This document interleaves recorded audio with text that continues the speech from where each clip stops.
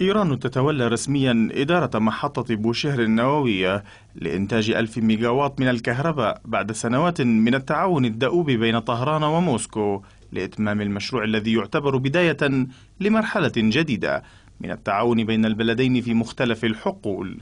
امتلاك إيران للطاقة النووية لأغراض سلمية بات أمرا واقعا ودخلت إيران نادي الدول النووية والتزمت بما يستتبعه هذا الاستحقاق من التزامات من معايير السلام النووية التي تنص عليها الاتفاقيات الدولية وذلك لتجنب أي حوادث في هكذا منشآت وهو الأمر الذي لفت إليه رئيس منظمة الطاقة الذرية الإيرانية.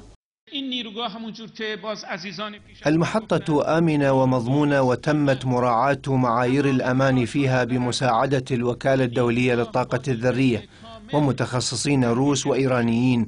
ونطمئن جميع دول العالم والجوار بأنها آمنة وسلمية وندعوهم لزيارتها وإرسال خبرائهم للتأكد من سلامتها. صالح كشف عن وضع حجر الأساس قريبا لمحطة نووية ثانية دون الكشف عن الجهة المنفذة. من جهته وزير الطاقة الإيراني عدد مزايا الطاقة النووية والجدوى الاقتصادية والبيئية التي تعود بها على البلاد.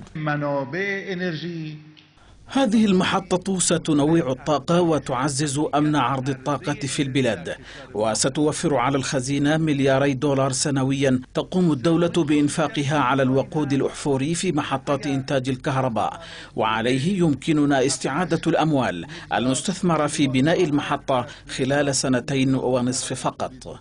برنامج طموح في إطار قوانين تم تبنيها في مجلس الشورى الإسلامي. تعمل طهران على تنفيذه خلال السنوات المقبلة ويقضي ببناء عشرين مفاعلا بطاقة إنتاجية توازي محطة بوشهر وذلك بهدف إنتاج عشرين ألف ميجاوات من الكهرباء النووية حيث تقوم إيران حاليا بدراسة عدد من الخيارات للتعاقد مع جهات لتنفيذ هذا المشروع.